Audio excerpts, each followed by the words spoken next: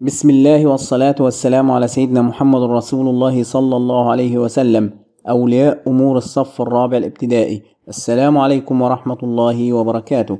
إن شاء الله النهاردة هنشرح مع بعض نشيد للجميع. للشاعر سليمان العيسى لغة عربية للصف الرابع الابتدائي الفصل الدراسي الأول. وإن ما كنتش اشتركت في القناة اشترك في القناة وفعل زر الجرس ليصلك كل جديد. وما تنساش تشترك في صفحتنا على الفيسبوك الصف الرابع الابتدائي مع التأسيس السليم. الشعر للجميع. الشاعر سليمان العيسى.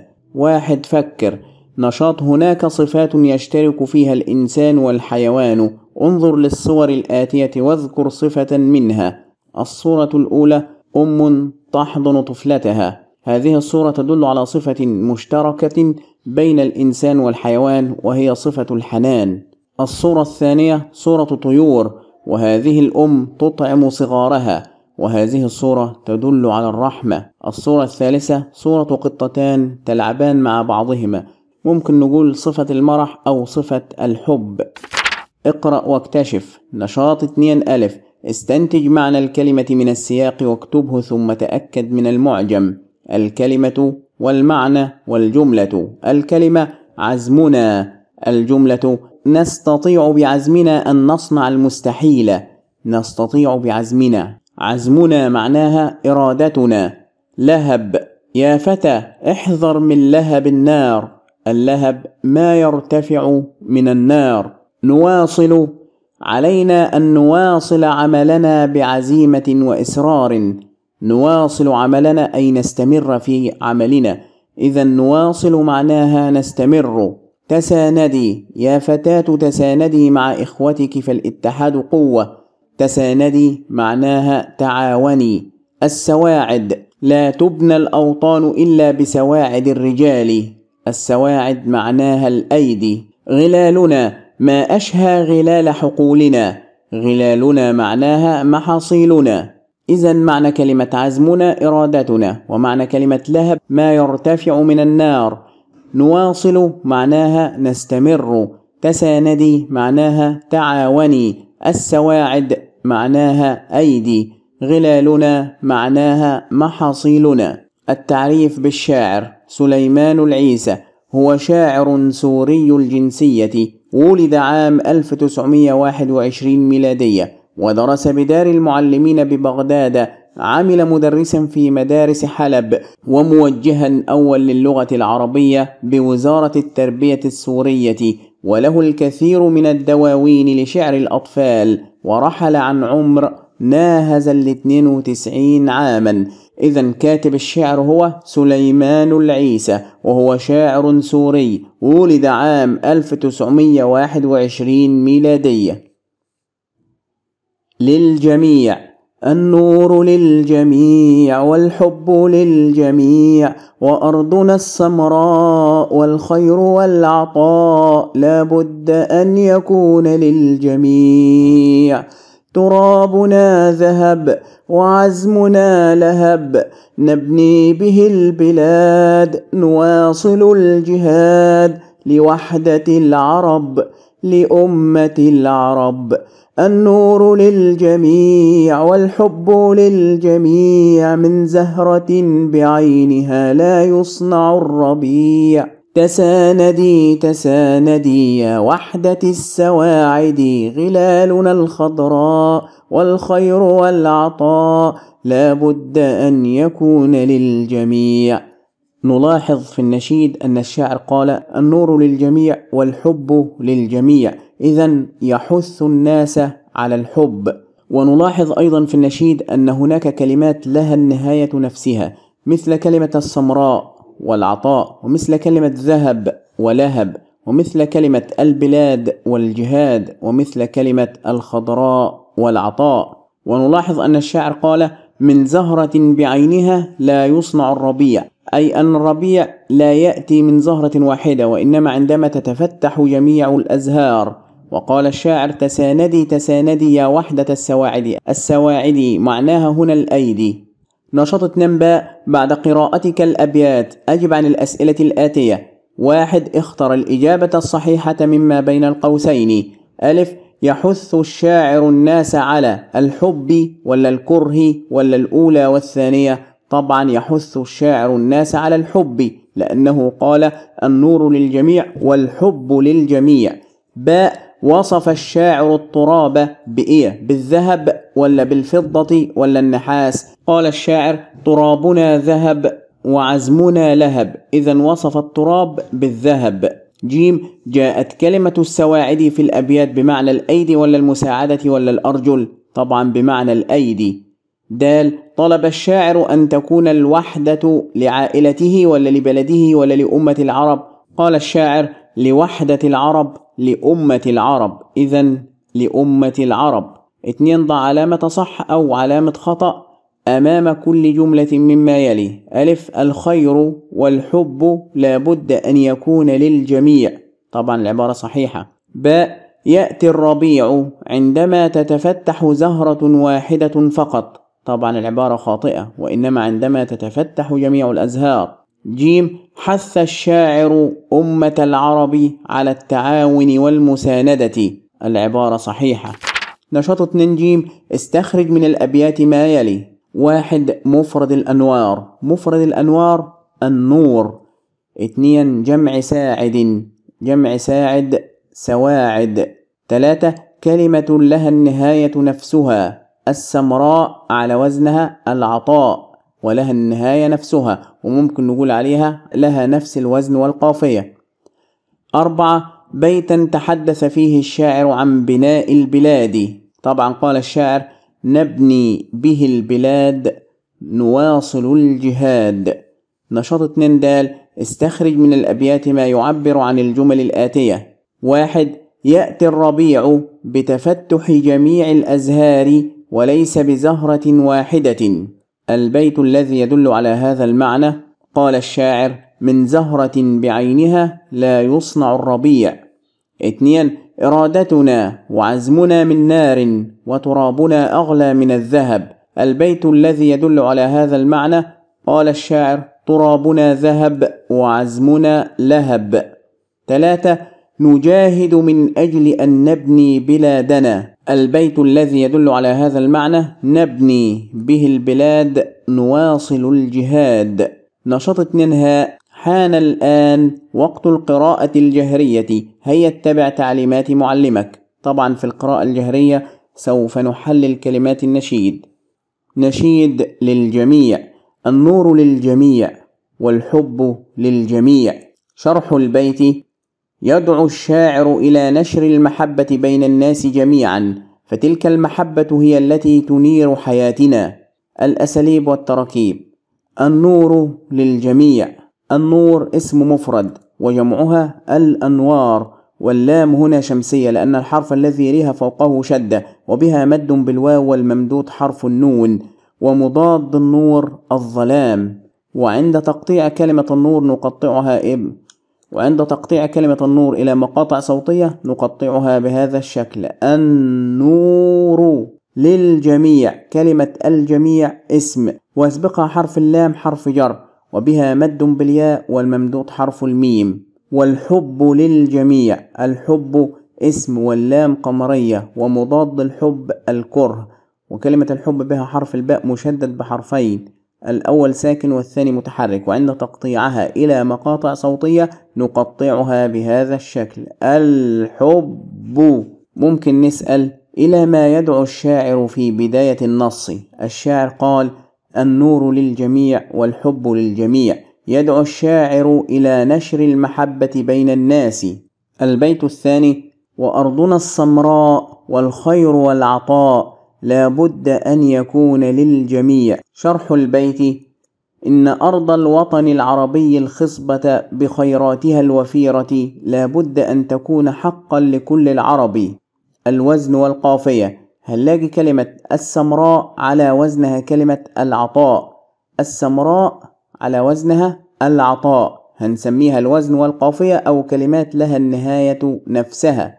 الأساليب اللي موجودة في البيت أرضنا السمراء معناها أرض شديدة الخصوبة وأرض اسم وجمعها أراضي ومضاد الأرض السماء. السمراء اسم واللام شمسية لأن الحرف الذي يليها فوقه شدة والحرف المشدد بحرفين الأول ساكن والثاني متحرك. وبها مد بالألف والممدود حرف الراء. والخير والعطاء الخير اسم واللام قمرية ومضاد الخير الشر. والعطاء الواو هنا حرف عطف وكلمة العطاء اسم واللام قمرية وبها مد بالألف والممدود حرف الطاء ومضاد العطاء المنع. لا بد أن يكون للجميع. ممكن نسأل بما وصف الشاعر الأرض العربية؟ وصفها بأنها سمراء كثيرة العطاء والخيرات. ممكن نسأل لمن تكون خيرات الوطن العربي؟ تكون للجميع. نكتب تكون لجميع أبناء الوطن العربي. ترابنا ذهب وعزمنا لهب. شرح البيت. يشبه الشاعر الأرض العربية بالذهب في قيمتها وشبه إرادة وعزيمة أبنائها بالنار في قوتها. الوزن والقافية. عندنا كلمة ذهب على وزنها لهب. لها النهاية نفسها وعلى وزنها. إذن كلمات على نفس الوزن والقافية ذهب ولهب. الأساليب ترابنا تراب اسم وجمع تراب أتربة وبها مد بالألف والممدود حرف الراء. ذهب والمقصود به المعدن أي معدن الذهب. وكلمة ذهب اسم وعزمنا عزمنا معناها إرادتنا. عزمنا معناها إرادتنا. لهب لهب معناها ما يرتفع من النار. إذا عزمنا معناها إرادتنا ولهب معناها ما يرتفع من النار. وكلمة عزمنا اسم وبها مد بالألف والممدود حرف النون. وكلمة لهب أيضا اسم. تعبيرات مجازية. ترابنا ذهب. تعبير مجازي شبه التراب بالذهب. يبقى ترابنا ذهب تعبير مجازي لأن الشاعر شبه التراب بالذهب. وأيضا عزمنا لهب.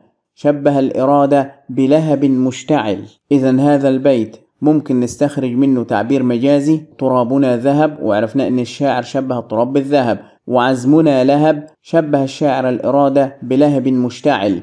وممكن أيضا نستخرج كلمات على نفس الوزن والقافية ذهب ولهب. ممكن نسأل بما وصف الشاعر ترابنا وعزمنا؟ طبعا وصف ترابنا بالذهب وعزمنا باللهب. نبني به البلاد نواصل الجهاد لوحدة العرب لأمة العرب. شرح البيت بتلك الأرض الخصبة وعزيمة أبناء الوطن العربي نبني البلاد ونرتقي ونتقدم ويدعو إلى تحقيق الوحدة العربية وعدم الانقسام والجهاد ضد كل عدو دخيل. نبني به البلاد نواصل الجهاد. بتلك الأرض الخصبة وعزيمة أبناء الوطن العربي نبني البلاد ونرتقي ونتقدم. لوحدة العرب لأمة العرب يدعو الشاعر إلى تحقيق الوحدة العربية وعدم الانقسام والجهاد ضد كل عدو دخيل. الوزن والقافية هنلاقي كلمة البلاد وعلى وزنها الجهاد. الوزن والقافية البلاد والجهاد. الأساليب نبني طبعا فعل مضارع وبها مد بالياء والممدود حرف النون ومعنى نبني نقيم ومضاد نبني نهدم. به البلاد كلمة البلاد اسم جمع ومفردها البلد وهنا جمع تكسير لأنه لا ينتهي بالواو والنون ولا الياء والنون ولا الألف والتاء. واللام هنا قمرية وبها مد بالألف والممدود حرف اللام. نواصل نواصل فعل مضارع. مرفوع علامة رفعه الضمة. ونواصل معناها نستمر. ومضاد نواصل نتوقف. وبها مد بالألف والممدود حرف الواو. الجهاد اسم واللام قمرية. وبها مد بالألف والممدود حرف الهاء. ومعنى الجهاد الكفاح. لوحدة العرب. وحدة مضادها تفرق. العرب اسم واللام قمرية. لأمة العرب. طبعا اسم ويسبقها حرف اللام حرف جر. وجمع أمة أمم. ومعناها جماعة من الناس بينهم روابط مشتركة وبها حرف الميم مشدد بحرفين الأول ساكن والثاني متحرك. العرب اسم أيضا واللام قمرية. والتعبير المجازي في هذا البيت نبني البلاد. تعبير مجازي شبه البلاد ببناء يبنى. يبقى التعبير المجازي نبني به البلاد. شبه البلاد ببناء يبنى والسؤال كيف نبني البلاد كما قال الشاعر نبني البلاد بالإرادة القوية النور للجميع والحب للجميع من زهرة بعينها لا يصنع الربيع. تساندي تساندي يا وحدة السواعد. شرح البيت يدعو الشاعر أمة العرب إلى التعاون فيما بينهم من أجل تحقيق الوحدة فالحلم العربي لن يتحقق دون أن نتحد. مثله مثل الربيع الذي لا يكتمل ولا يظهر جماله إلا بتفتح جميع الأزهار وليس بزهرة واحدة. إذا في هذه الفقرة من الشعر قال الشاعر النور للجميع والحب للجميع من زهرة بعينها لا يصنع الربيع. فالحلم العربي لن يتحقق دون أن نتحد. مثله مثل الربيع الذي لا يكتمل ولا يظهر جماله إلا بتفتح جميع الأزهار وليس بزهرة واحدة. الأساليب. طبعا النور للجميع والحب للجميع قلناها قبل كده. فهنبدأ من زهرة بعينها من حرف جر. زهرة اسم لأنها سبقت بحرف الجر. علامة الاسم فيها أنها سبقت بحرف الجر وأن بها تنوين بالكسر. وجمع زهرة زهور أو أزهار بعينها. المراد وحدها وكلمة بعينها اسم واسبقها حرف الباء حرف جر وبها مد بالألف والممدود حرف الهاء وهذه هاء الضمير. لا يصنع الربيع أسلوب نفي يصنع فعل مضارع مرفوع وعلامة رفعه الضمة الربيع اسم واللام شمسية لأن الحرف الذي يليها فوقه شدة وبها مد بالياء والممدود حرف الباء. تساندي تساندي. تساندي فعل مضارع ومعناها تعاوني. تساندي معناها تعاوني. ومضاد تساندي تخاذلي أو تخلي عن. يا وحدة السواعد أسلوب نداء. أداة النداء يا ووحدة السواعد هي المنادى. كلمة وحدة اسم وعلامة الاسم فيها أنها سبقت بياء النداء. والسواعد أيضا اسم واللام شمسية لأن الحرف الذي يليها فوقه شدة وبها مد بالألف والممدود حرف الواو والسواعد معناها الأيدي. ممكن نسأل ماذا يقصد الشاعر بقوله من زهرة بعينها لا يصنع الربيع طبعا يقصد أن الوحدة سبب التقدم. ونلاحظ أيضا كلمة تساندي تكررت فهنقول ماذا أفاد تكرار كلمة تساندي تساندي؟ هنقول أفاد أهمية التعاون لأمة العرب لتحقيق الوحدة. غلالنا الخضراء والخير والعطاء لا بد أن يكون للجميع. شرح البيت. يصور الشاعر جمال الأرض العربية وغناها بالخيرات ويؤكد دعوته إلى تحقيق العدل بأن تكون خيرات الوطن لجميع أبنائه. وهنلاحظ أيضا في البيت الأخير هناك كلمات على نفس الوزن والقافية هنلاقي كلمة الخضراء وكلمة العطاء على نفس الوزن والقافية الخضراء والعطاء الأساليب والتركيب غلالنا اسم جمع ومفردها غلة ومعنى غلال محاصيل. أي محاصيلنا وبها مد بالألف والممدود حرف اللام. الخضراء اسم واللام قمرية وبها مد بالألف والممدود حرف الراء. وجمع الخضراء الخضراوات. والخير والعطاء. الخير اسم واللام قمرية ومضاد الخير الشر. الواو هنا حرف عطف. العطاء اسم واللام قمرية وبها مد بالألف والممدود حرف الطاء. وقلنا مضاد العطاء المنع. لابد أن يكون للجميع. ممكن نسأل ماذا أفاد وصف الغلال بالخضراء؟ دل على كثرة الخيرات المتجددة. ممكن نسأل لماذا كرر الشاعر لابد أن يكون للجميع؟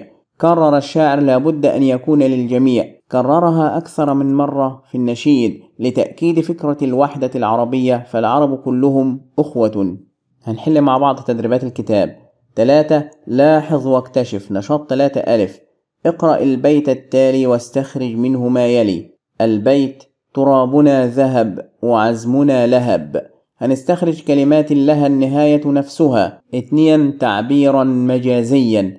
نتذكر أن الإيقاع الصوتي القافية هو توافق آخر الأبيات على حرف واحد. مثل في أول النهار نتناول الإفطار. والتعبير المجازي هو استخدام الألفاظ في معان غير معناها الحقيقي لإظهار الجمال على النص. الجمل سفينة الصحراء.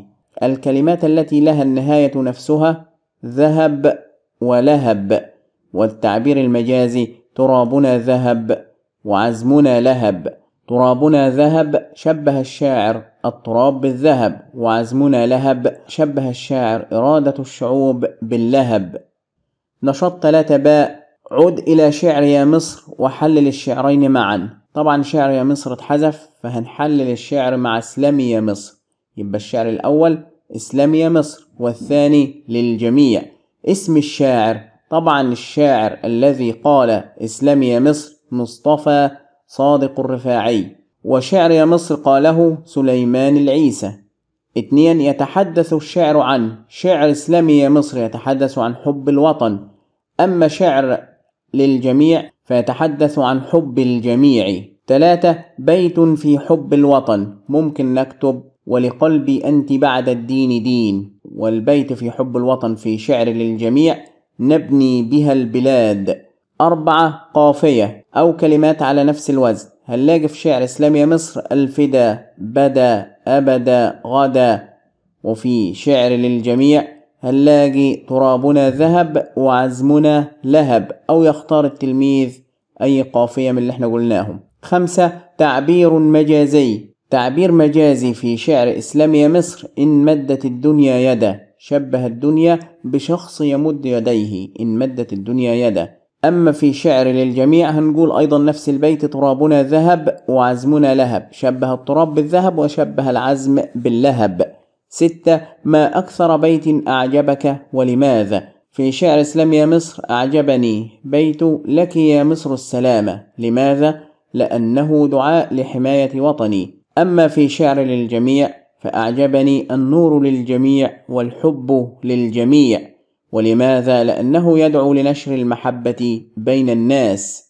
نشاط 3 جيم أكمل بكلمة مناسبة مما يلي. تسانده الغلال عزيمة يواصل يحب جد الزراعة كثيرا فهو يمتلك قطعة أرض زراعية صغيرة بصعيد مصر. ونقط جدتي. نجرب كل كلمة. وتسانده جدتي ولا والغلال جدتي ولا عزيمة جدتي ولا يواصل جدتي طبعا تسانده جدتي وبعض الفلاحين في زراعتها. ولقد تعرضت هذه الأرض لكثير من المشكلات ولكن جدي كان لديه لديه الغلال ولا لديه عزيمة ولا لديه يواصل لديه عزيمة قوية تجعله. الغلال ولا تجعله يواصل؟ تجعله يواصل حل جميع هذه المشكلات حتى يأتي موسم الحصاد ويجمع الكثير من الغلال من الفاكهة والخضروات.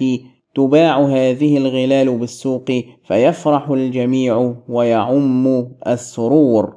نشاط ثلاثة دال تذكر ما درست من خلال هذه الأمثلة. الرياضة أساس سلامة الجسم.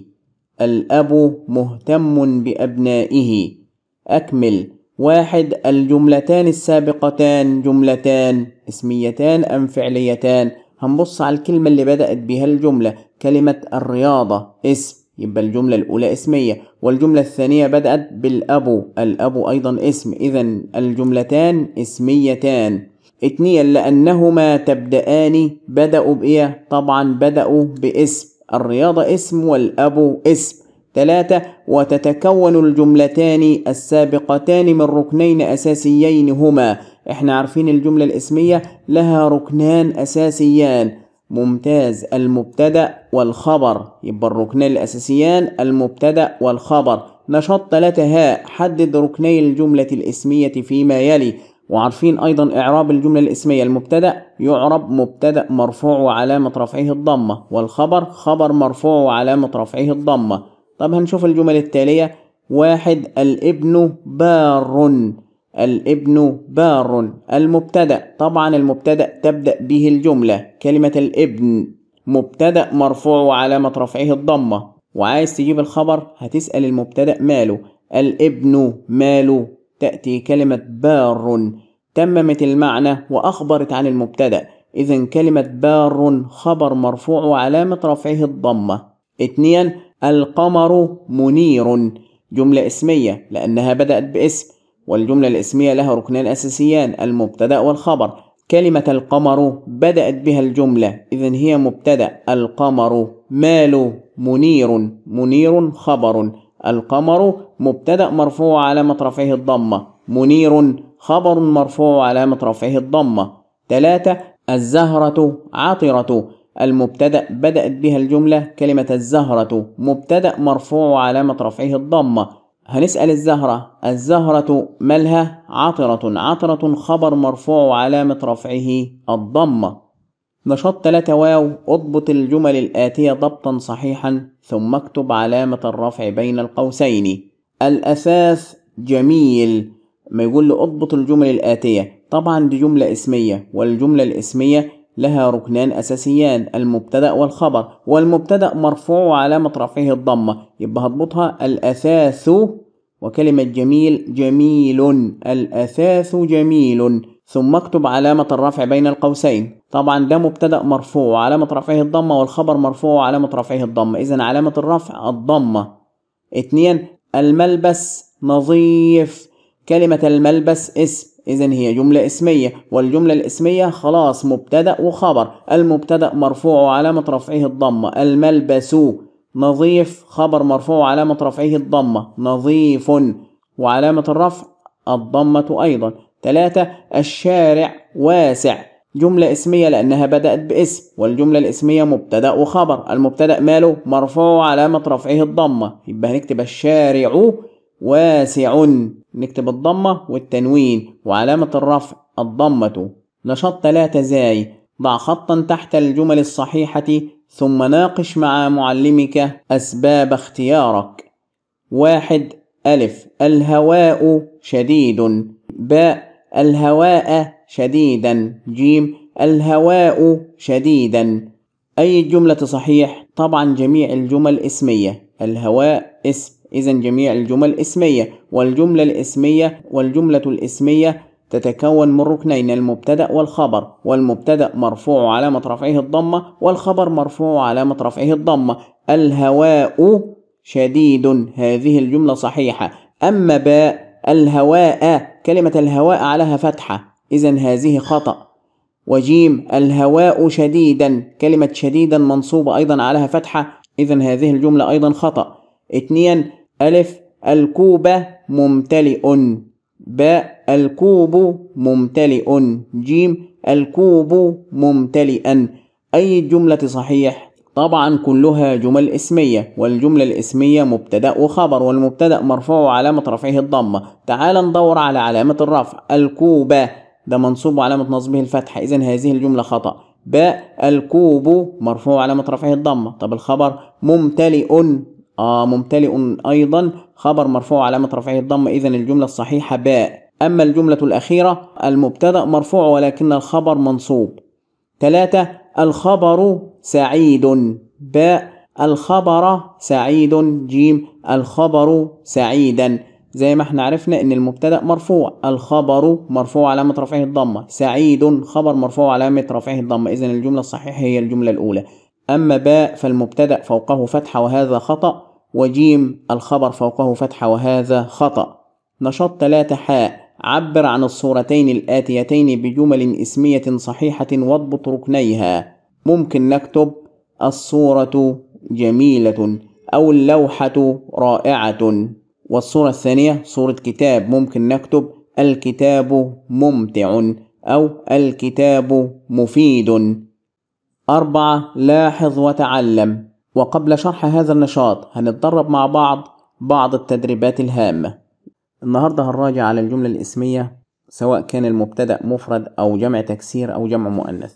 لو صورة ولد زي كده وقلت لك عبر عنه بجملة إسمية. طبعا قبل ما نعبر بجملة اسمية لازم نتذكر أن الجملة الاسمية تبدأ باسم. الجملة الاسمية تبدأ باسم. طيب إذا هنقول التلميذ مجتهد. كده أنا عبرت بجملة اسمية. وأنا عارف إن الجملة الاسمية لها ركنان أساسيان. يعني ما ينفعش يجي مبتدأ وما يجيش خبر. لازم يجي مبتدأ وخبر. إذا الجملة الاسمية لها ركنان أساسيان. مبتدأ وخبر. طيب تعال نشوف المبتدأ. المبتدأ الذي تبدأ به الجملة. التلميذ. كلمة التلميذ هنقول مبتدأ مرفوع وعلامة رفعه الضمة. ليه؟ لأنه مفرد. المفرد مرفوع علامة رفعه الضمة. طب هي ممكن تكون علامة غير الضمة؟ أيوة ممكن بس هناخدها إن شاء الله في الدروس القادمة. اسأل ماله تجيب الخبر. التلميذ ماله؟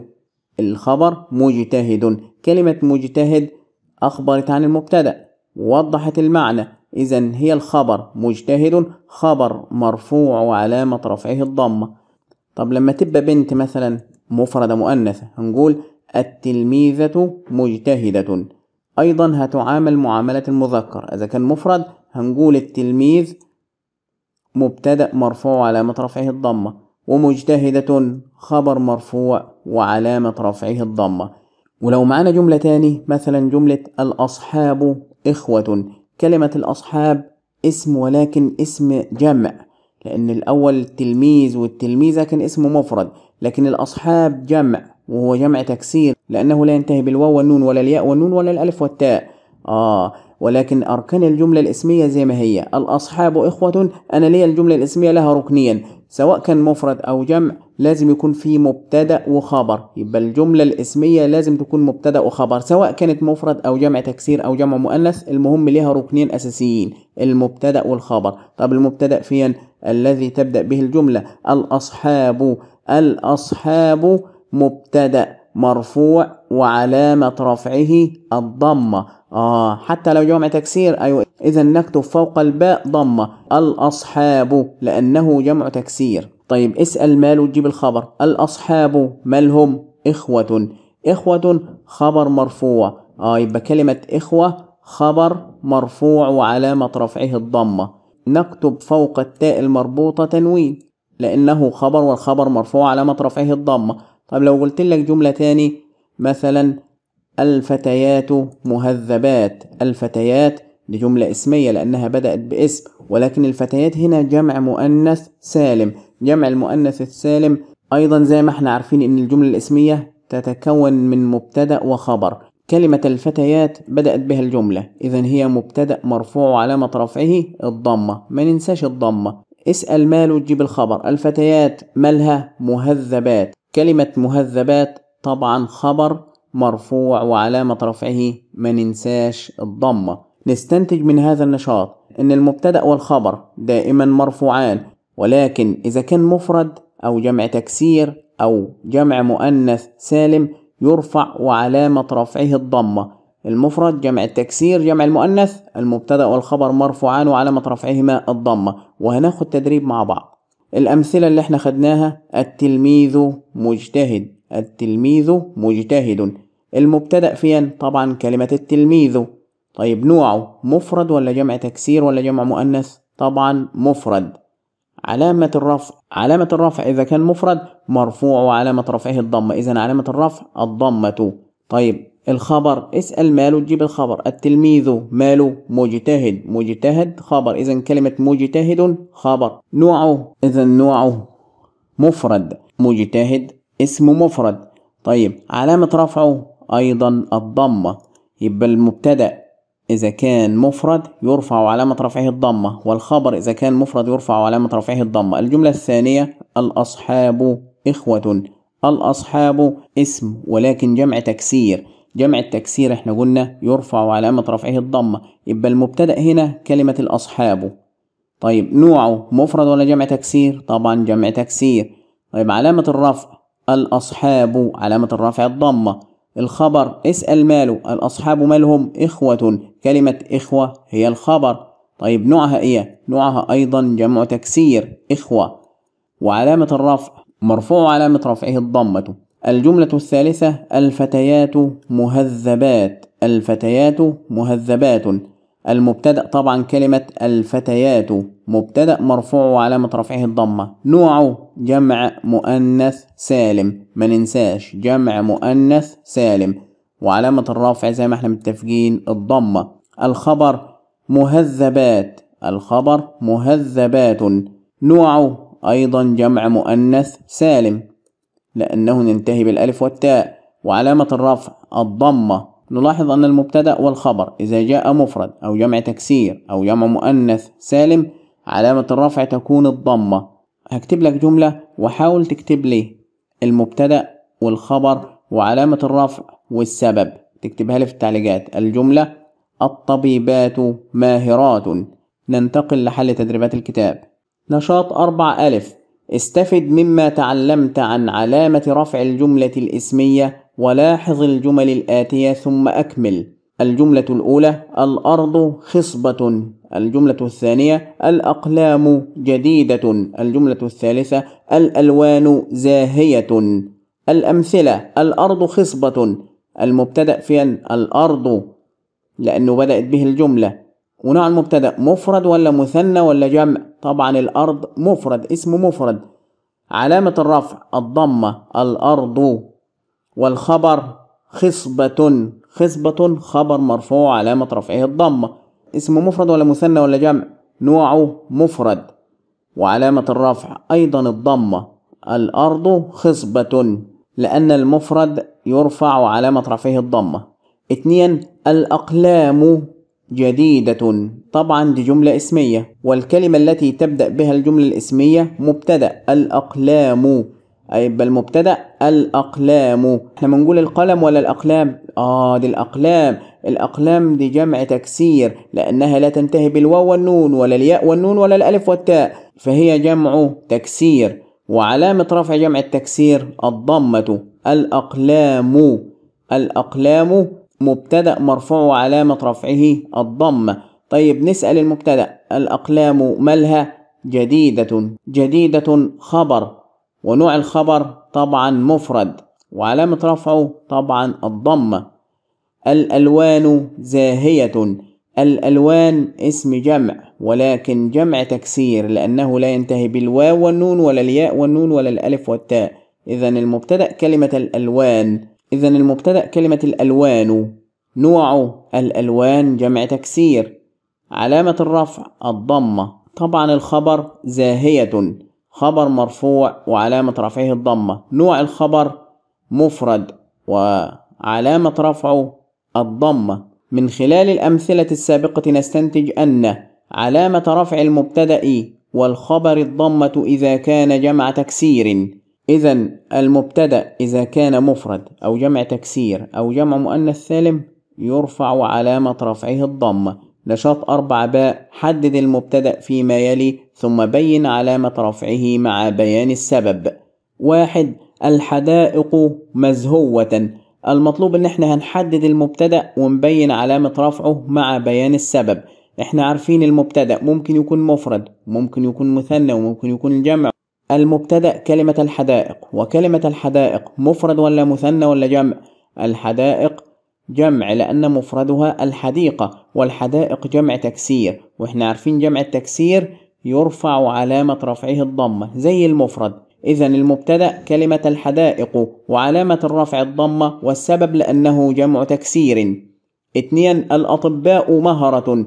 المبتدأ كلمة الأطباء مفرد ولا مثنى ولا جمع؟ طبعا جمع تكسير وجمع التكسير علامة رفعه الضمة زي المفرد. والسبب لأنه جمع تكسير. نشاط أربعة جيم لاحظ الجمل الآتية ثم أكمل. الطبيبات مضحيات الفتيات مهذبات الصادقات محبوبات.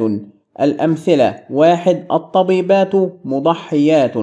طبعا دي جملة اسمية لأنها بدأت باسم ولكن هنا الاسم نوعه جمع مؤنث سالم لأنه ينتهي بالألف والتاء. طيب المبتدأ لما يكون مفرد عرفناه يرفع بالضمة. ولما يكون جمع تكسير يرفع بالضمة ولما يكون جمع مؤنث أيضا يرفع بالضمة. الطبيبات مضحيات المبتدأ الطبيبات ونوعه جمع مؤنث سالم. وعلامة الرفع الضمة والخبر مضحيات ونوع أيضا جمع مؤنث سالم. وعلامة الرفع الضمة. اثنين الفتيات مهذبات. الفتيات مبتدأ يبقى المبتدأ كلمة الفتيات ونوعها جمع مؤنث سالم لأنها تنتهي بالألف والتاء تدل على الجمع وتنتهي بالألف والتاء. إذا هي جمع مؤنث سالم. علامة الرفع أيضا الضمة الفتيات. علامة الرفع الضمة. والخبر هنسأل الفتيات مالها مهذبات. كلمة مهذبات خبر. إذا الخبر مهذبات. نوع الخبر نوع أيضا جمع مؤنث سالم وعلامة الرفع الضمة. ثلاثة الصادقات محبوبات.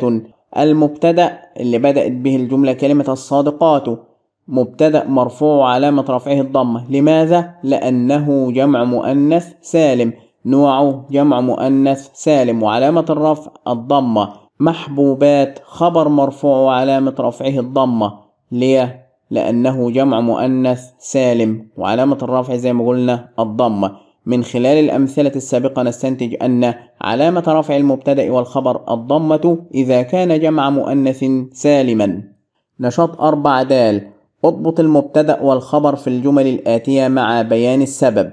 واحد الأطباء مهرة. دي جملة اسمية بدأت باسم اللي هو الأطباء ولكن هنا الاسم عبارة عن جمع تكسير. الأطباء وإحنا عرفنا جمع التكسير إذا كان مبتدأ نقول عليه مبتدأ مرفوع وعلامة رفعه الضمة. يبقى الأطباء مهرة أيضا جمع تكسير. هنقول عليها خبر مرفوع وعلامة رفعه الضمة. والسبب لأنها جمع تكسير. اثنين العلماء أذكياء. العلماء اسم جمع وهو جمع تكسير. وجمع التكسير إذا جاء مبتدأ نقول مبتدأ مرفوع علامة رفعه الضمة. أذكياء أيضا جمع تكسير. إذا أذكياء خبر مرفوع علامة رفعه الضمة والسبب لأنه جمع تكسير. ثلاثة الطائرات محلقات.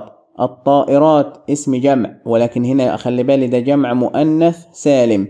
جمع المؤنث السالم إذا جاء مبتدأ يرفع علامة رفعه الضمة محلقات أيضا خبر مرفوع علامة رفعه الضمة لأنه جمع مؤنث سالم. إذا السبب جمع مؤنث سالم. أربعة المعدة بيت الداء. المعدة اسم مفرد. لما تيجي مبتدأ هنقول المعدة. مبتدأ مرفوع علامة رفعه الضمة. بيت خبر مرفوع علامة رفعه الضمة. الدائي ده طبعا مضاف إليه. السبب لأنه مفرد. إذا نحاول نفهم التلاميذ أن المبتدأ والخبر دائما مرفوعان. وإذا جاء مفرد أو جمع مؤنث سالم أو جمع تكسير يرفع علامة رفعه الضمة نشاط أربعة هاء عبر عن الصورتين الآتيتين بجملتين اسميتين مع الضبط. مطلوب من التلميذ أنه يعبر عن كل صورة بجملتين اسميتين. جملتين اسميتين إذا هتبدأ الجملة باسم. الصورة الأولى إحنا شايفين آلات كثيرة فممكن نقول الآلات كثيرة. ونلاحظ أن كلمة الآلات مبتدأ مرفوع علامة رفعه الضمة. لماذا؟ لأنه جمع مؤنث سالم وكلمة كثيرة خبر مرفوع علامة رفعه الضمة. طبعا لأنها مفرد.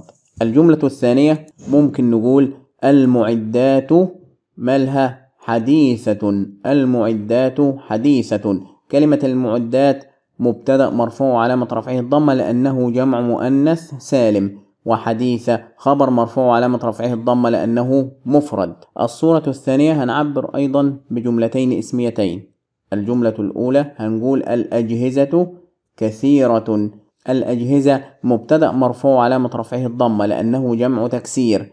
كثيرة خبر مرفوع علامة رفعه الضمة لأنه مفرد. الجملة الثانية المكاتب مجهزة. المكاتب طبعا جمع تكسير مبتدأ مرفوع علامة رفعه الضمة. ليه؟ لأنه جمع تكسير. مجهزة. خبر مرفوع علامة رفعه الضمة لأنه مفرد. خمسة شارك. نشاط خمسة ألف. اكتب جملتين لهما نفس النهاية. تعبر فيها عن حبك. لمين؟ لأسرتك أو أصدقائك أو مدرستك أو وطنك أو حيوانك الأليف. الجملة الأولى صديقتي الجميلة. اسمها نعيمة الجميلة على وزن نعيمة. ممكن نكتب الفراشات الرقيقة بين أزهار الحديقة الرقيقة على وزن الحديقة. وممكن نكتب مصر يا أم البلاد أنت غايتي والمراد. البلاد على وزن المراد. نشاط خمسة باء. إذا أردت أن تعبر عن حبك لشخص ما فيمكنك استخدام طرائق مختلفة مثل الهدايا أو الكلمات المشجعة. أو قضاء وقت معه أو مساعدة تقدمها له. اختر شخصا تحبه من أهلك أو أقربائك أو أصدقائك واكتب الفقرة التطبيقية لطرائق الحب. واحد فكر لهدية. ممكن نكتب ساعة يد أو علبة ألوان. اتنين كلمات حب وتشجيع. لو صديقي هقول أنت صديقي العزيز. تلاتة مكان تحب قضاء الوقت معه فيه. طبعا المدرسة. أربعة المساعدة التي يمكن أن تقدمها له. أساعده في تنظيم وقته. بكده إن شاء الله نكون قد انتهينا من درس اليوم. من عجبك الدرس اشترك في القناة وشارك الفيديو عشان غيرك يستفاد. والسلام عليكم ورحمة الله وبركاته.